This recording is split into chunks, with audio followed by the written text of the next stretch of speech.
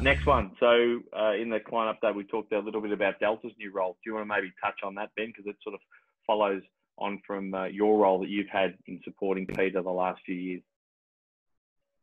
Yeah, definitely, and I'm sure plenty of plenty of you guys have uh, already met Delta over the 15, 16 years, and then in more recent times actually being in the in the meeting with Peter. So similar to myself over the last four or five years, um, helping PB just to to manage his clients and, and make sure that he has some time to you know do some things for himself outside of work, but also be there and keep seeing his clients, which is something that he, he really loves doing. And, um, you know, our workload only ever gets bigger. So Delta being in there, being able to field some questions, if anyone has any questions, a bit like with the, with the guys that I see, don't be afraid to fire it to us. You know, you're going to see both myself and to see Delta and Peter all together um, whenever we have those meetings. So, you know, Delta's been around for, for a long, long time. She knows a lot more about a lot of things in the business than, than I'll ever know. So um, make sure we're hitting her up with any any questions, and um, you know, you all get to know her a lot better, I'm sure, as you're seeing every six or twelve months.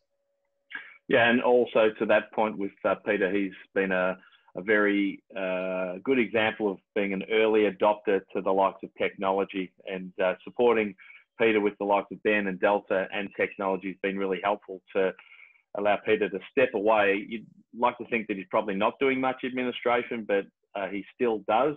So our aim is really to have Peter spending much more time client facing, uh, mentoring planners, and in the advice space rather than doing any sort of administration. So as Ben said, uh, hit Ben up, hit Delta up if you've got any queries. They can be your first port of call uh, as they help and support Peter.